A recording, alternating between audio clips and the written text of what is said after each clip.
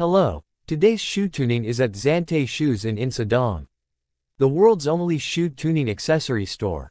The shoes you see in front of you right now are canvas shoes you want to wear. Easily in our summer or other seasons like this. Now that spring has come, the days are getting warmer. Lighten up with the warm weather. There are many people who want to wear shoes like this. That's why you wear many canvas shoes.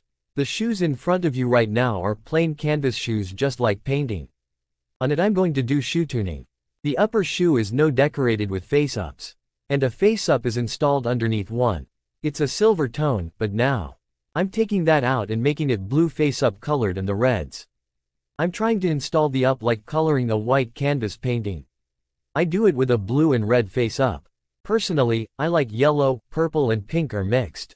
It's good like this but I thought women would prefer those colors. Did you know that it is also available in pink? Last time, a man wore pink. You were wearing canvas shoes, didn't you? Anyway, today it's blue and red on a white background canvas shoe. Let's try attaching the face up to canvas shoes. Remove the silver tone plated face up underneath this one.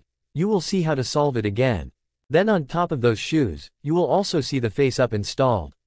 Then, let's get started. How I'm untying is just this I type of bar. If you simply tilt the I bar back, then it will be untied easily. Please loosen up a little bit and lift the I-bar and pull it up. While pulling up the whole area. Now, if you just put I-bar in there, the strap loosens easily. Well, have you seen it? First of all, the most important thing is.